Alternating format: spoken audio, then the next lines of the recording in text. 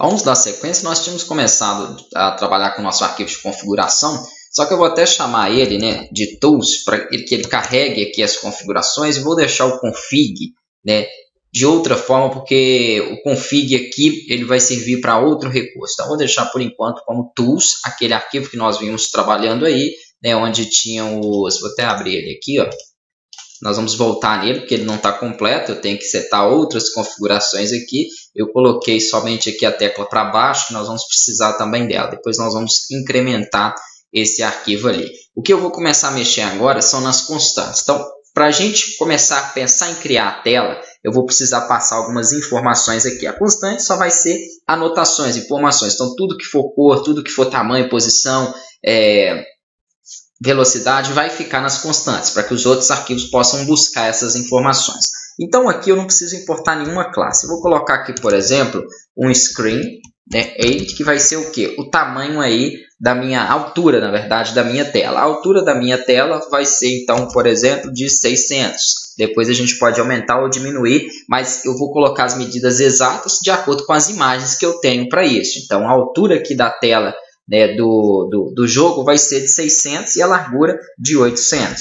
Então, screen width 800. Se você quiser desenvolver as imagens um pouco maiores, né, colocar aí algumas modificações, você pode então estar trabalhando outra altura. É claro que eu posso ainda utilizar essa mesma imagem com altura diferente, por exemplo, 1024 por 768, que é outra outra resolução, né? 1024 na altura por 768. Só que assim, pode distorcer um pouquinho a imagem, pode não ficar muito legal. Então, por isso que é interessante você recriar as imagens do mesmo tamanho. E aqui eu vou falar que o tamanho da tela, né, então meu screen size, ele vai receber justamente as minhas variáveis ali de largura, que é o screen width. Primeiro a gente sempre coloca a largura, né, e depois ele pede a altura, que é a minha variável de altura. Beleza. Então, esse arquivo vai ser justamente para guardar isso. Quando eu quiser chamar o tamanho da tela ou passar o tamanho da tela, em vez de eu chamar duas variáveis, agora eu só chamo uma, que é essa screen size. Aqui eu posso colocar o título né, da, minha, da minha página. Então, o título aqui pode ser, por exemplo, Super Mario.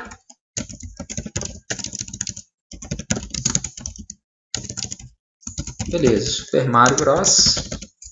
Ok. Além do título, eu posso passar também para ele aqui é, informações de cores. Então vamos lá, as cores aqui, é claro que eu não vou colocar tudo, depois eu vou complementar mais aqui, tá joia? As cores são passadas em RGB, como eu já falei, né?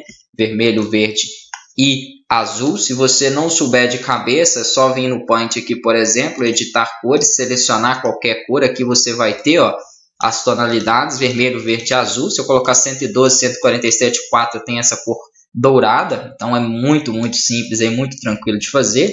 Né, deixa eu voltar para as constantes aqui. Ok? Vamos criar, por exemplo, uma, uma tonalidade aqui, ó.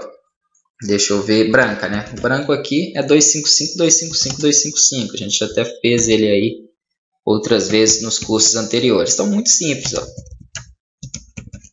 e assim por diante. A gente pode criar também o vermelho, que é 255 apenas, e não tem o vermelho couro, né? não tem cores nos outros. É claro, se eu quiser deixar um pouco mais fraco, um pouco mais forte, eu posso inserir ele no segundo e no terceiro parâmetro, mas basicamente é, são essas cores aqui. Né? Posso criar um tom, por exemplo, de cinza, Vou colocar aqui um gray, se eu não me engano é aproximadamente 100, 100, 100. Deixa eu ver aqui. É isso mesmo, ó, 100, 100, 100, você tem um cinza aí praticamente perfeito e assim por diante. Então, as cores também, obviamente, eu vou utilizar aqui né, em inglês, os nomes delas aqui, mas aí você pode configurar e inserir da forma que vocês quiserem. Eu vou preparar então as outras cores para colocar aqui embaixo, não vai ficar super enjoativo eu digitando uma a uma, né? Essas informações aí eu acho que não são assim é, não tem a necessidade, vocês vão abrir depois o meu arquivo de constantes e vão pegar essas informações ou vão criar aí manualmente as suas cores, é uma vez que já foi ensinado. E é claro que esse arquivo de constante também vai ter mais informações, porque eu não tenho somente o tamanho da tela, né? eu não tenho somente aqui o, o, o screen size dessa tela, eu vou ter aí o tamanho do próprio Mario, velocidade, então essas informações também eu vou estar inserindo.